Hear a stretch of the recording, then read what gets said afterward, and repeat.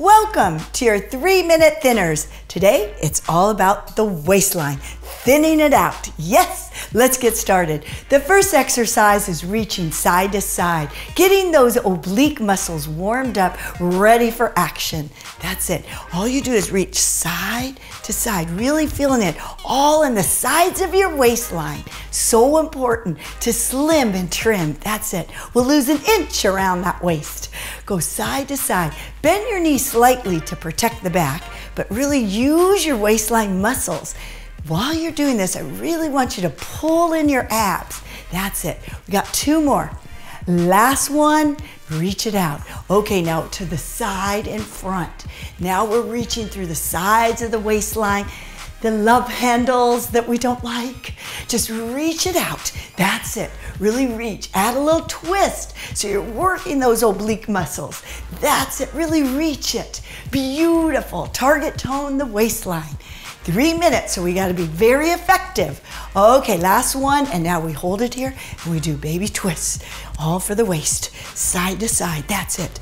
Elbows in front, you can place your hands on your shoulders and really get that waistline worked. That's it, trim and slim it. Great, really feel it. We got two more.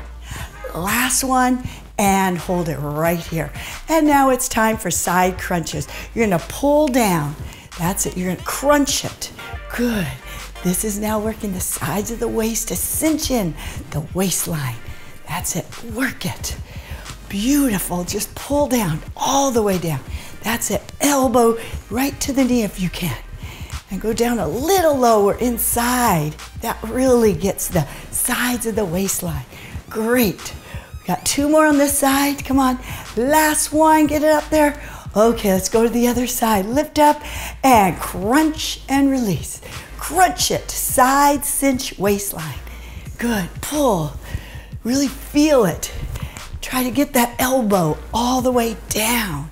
That's great. Pull the belly button in. Zip up those abs. Pull it in. Good. Engage your ab muscles.